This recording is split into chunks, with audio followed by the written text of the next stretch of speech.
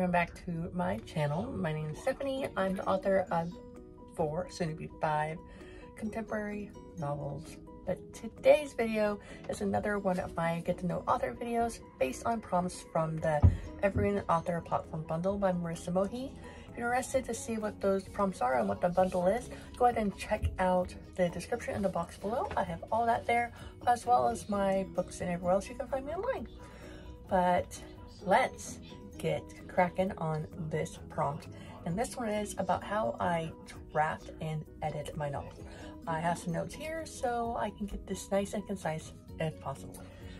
Alright, so today's video is going to be about how I draft and edit my drafts. Everyone does this differently and what works for me may not work for you. So I just want to preface by saying this is what I do and this is how I do things. So um, once I have my note cards that have one to two sentences per scene. I write the scene, and at this point, I don't really worry about where the chapters are or what scenes belong in each chapter. I just write the scenes. And then I worry about the chapters later. And my chapter's usually about two to 4,000 words. So once I get around like 3,000 words, I check to see how many more scenes would make sense for the end of the chapter, or if the scene is the end of the day, then I end the chapter there as well. All right, so I write out the scenes and I usually have a good flow until about 25 to 30,000 words. At that point, I set aside, I set aside the draft and then I brainstorm on paper what could happen from the muddy middle to the end. Not the very end, because I always have a good idea of how my novel is gonna end. And then, so once I have those chapters drafted, then I move the file from Scrivener's, which is where I draft it, into a pre-formatted um, document that has all the chapter and margins and everything set up the way I like. And I've done this like the, for like the last, last, I've done this for the last four novels, so I know this is what works. Next, next comes a fun editing part. So first I go through and correct all the typos because there's always a lot of typos because I type faster than I think. And then um, I go and change the fonts and I give it a read through one chapter at a time.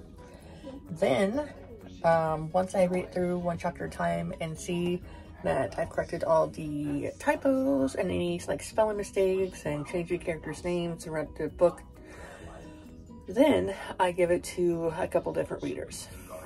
I have a reader that goes through and checks it for any like, I would say they're a line editor, checks for any um, spelling errors, punctuation marks. I have someone else goes and reads through it, make sure there's no plot holes that I have missed. Okay, so once this has been done, then I read through it one more time after I apply, I'll go through and make sure that their corrections and suggestions make sense. Then I read through it one more time before ordering a proof copy of my novel, just to make sure I verify it and make sure everything looks good. The only difference with this process, with this current novel that's releasing in a couple of weeks, is that, um, in two weeks actually, is that I was not able to order a proof copy because I do not have a place I can receive a book in a timely fashion at this time. So that is the rundown of how I draft and edit my novels. It doesn't really change from novel to novel. It Might change how long it goes or how long it takes to edit, but that's my process. Alright, I think that's it for me today. Thanks again for watching this video all the way through. If you like this video, go ahead and hit the like button down below. If you want to hear more of my videos, go ahead and hit the subscribe button. In the meantime, have a wonderful day.